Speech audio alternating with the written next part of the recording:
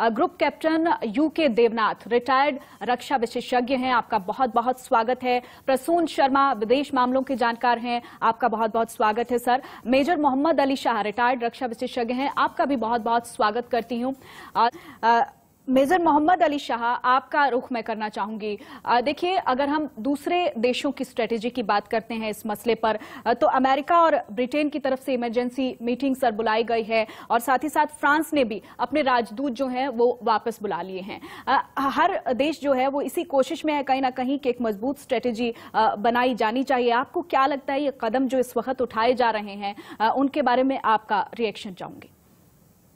जी बिल्कुल जो बिल्कुल दुरुस्त कदम उठाए जा रहे हैं अब तक तो देखिए कहीं पे कोई कमी नहीं है। कल ऑल पार्टी मीटिंग हुई थी। हम्म। तो थर्टी वन इकतीस पार्टी में से सैंतीस मेंबर लीडर वहाँ पे मौजूद थे। और वहाँ पे छह जहाज़ हमारे नियुक्त किए गए हैं इवैक्यूएशन के लिए। और जो ई वीज़ा पॉलिसी है क्योंकि देखिए वीज़ा प्रिंट होने में टाइम लगता है लंबा लंबी कार्रवाई होती है। तो ई वीज़ा फटाफट हाथों हाथ।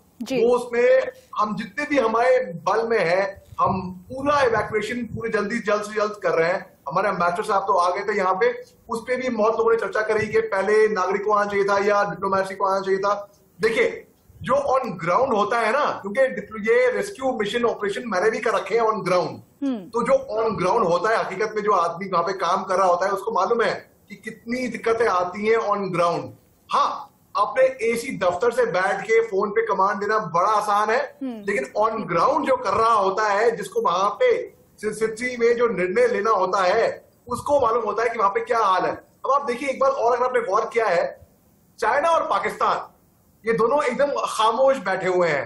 इन्होंने इसकी बिल्कुल निंदा नहीं करी। जी। आपको मैं एक एग्ज़ाम्पल देता हूँ मैं। देखिए हर किसी मैं ऐसी बात में भाषा में बोलूँगा कि हर किसी को समझ में आ जाए इसलिए व्हाट्सएप। ग्रुप्स होते हैं ना व्हाट्सएप ग्रुप्स अक्सर ऐसा होता है कोई कुछ एक पोस्ट डालता है तो कोई बोलता है आई एग्री आई डिसअग्री लड़ाई या झगड़े हो जाते हैं व्हाट्सएप ग्रुप पे आमतौर पे। हम्म। अब जो खामोश हो गया मतलब वो सपोर्ट करता है। सिंपल सी बात है कोई पोस्ट कर रहा है वो सब सपोर्ट कर रहा है। उसी तरीके से चाइना और पाकिस्तान एकदम खामोश बैठे हुए हैं। क्यों? क्योंकि यही इनके स्पॉन्सर है। यही ये सब स्पॉन्सर करते हैं। पाकिस्तान तो भैया सर्टिफाइड है आईटी में। आईटी मतलब इंफॉर्मेशन टेक्नोलॉजी नहीं इंटरनेशनल टेररिज्म अब इसमें कितना खतरा है मैं आपको बताता हूँ मैं आपको। सेंट्रल कमांड के जो चीफ है जनरल फ्रैक मैकेजी अमेरिका के। उन्होंने पहले कहा था कि हम ये एंटिसिपेट कर रहे थे हमें मालूम था ये खतरा है और वो बोल रहे हैं जनरल मैकेजी साहब कि अब आगे और ये लोग अटैक कर सकते हैं रॉकेट से और एडवांस अटैक कर सकते हैं। तो अभी तो ये शुरुआत है तो आगे जाके और खतरा हो सकता है। अब मैं आपको ये बताता हूँ एक बात कि मैं बिल्कुल कतई मानने को ये तैयार नहीं हूँ कि इसमें तालिबान इसके बारे में इल्म नहीं रखता है। Hundred percent. Hundred percent Taliban की लीडरशिप कहती कुछ और है। उनके जो ग्राउंड के फुट सोल्जर है, वो कुछ और कहते हैं। उनके स्पोक्स पर्सन है जेड मुजाहिद। वो कहते हैं कि औरतें अभी घर में रहे, जब तक हम अपने फौज को ट्रेनिंग ना दे दें, महिलाओं से कैसे बर्ताव करना है, क्योंकि इनको आदत नहीं है। क्यों भाई? बीस साल का टाइम मिला था, अब तक सो रहे थे क्या? लेकिन ना, अब ये तालिबान जो है, हाथी के दांत दिखाने के कुछ और, खाने के कुछ और वो वाला काम कर रहा है। अब जो आईएसआईएस जो है वो वहाँ पे दिखा रही है कि भाई हम जो करना है हम करेंगे। अब अभी जो बाइडेन ने भी बोला है हम इनको चुन चुन के मारेंगे निकाल निकाल के मारेंगे। और अगर ये गलत फहमी में ना रहा है कि ये लोग पकड़े नहीं आएँगे अरे यूएस ने क्या करा है? यूएस ने अपने ट्रूप्स निकाले नहीं है वहाँ से।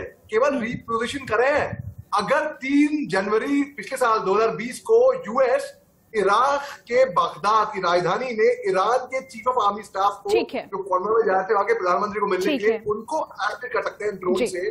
तो एक एक बटन दबाना है इनकी भीगी बिल्ली बन जाएगी और ये इनमें दम नहीं है। ठीक है, मेजर मोहम्मद, मैं आपके पास लौटूँगी। मोहम्मद अली शाह जी, देखिए, आपके पास मैं आना चाहूँगी। अभी जिस तरीके से यूके देवनाथ जी कह रहे हैं कि अपने अपने लोगों को वहाँ से वापस लाना, सभी देशों के लिए देखिए, एक बहुत बड़ी चुनौती भी है। लेकिन साथ ही साथ, जो आईएस आईएस का संगठन सामने आया है और साथ ही साथ अमेरिका की तरफ़ से ये भी साफ़ कर दिया गया है कि जो लोग वहाँ से एयरलिफ्ट करके लाए जा रहे हैं, उनमें भी कुछ लोग इस तरीके के हो सकते हैं। तो ये कितनी बड़ी चुनौती दूसरे देशों के लिए आप देख रहे हैं?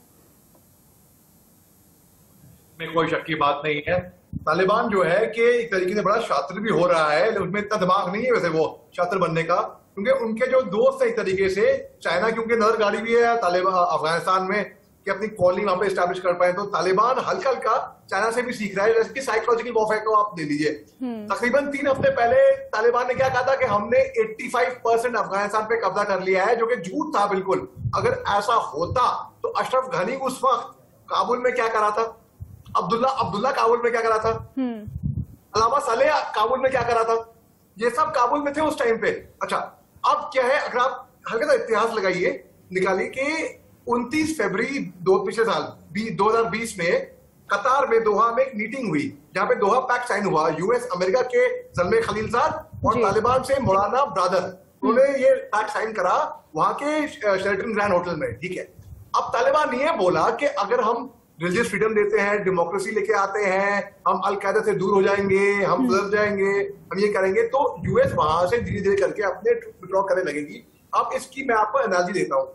ये हुआ जैसे कि घर पे अगर माँ बाप बोलते हैं ना बच्चे को कि बेटा अगर तुमने सही व्यवहार किया तो हम संडे को बाहर जाएँगे हम तुमको अकेले छोड़ देंगे कोई बात नहीं आप अपना ऐश करना घर पे। बच्चा ठीक रहता है ठीक है ठीक है ठीक है।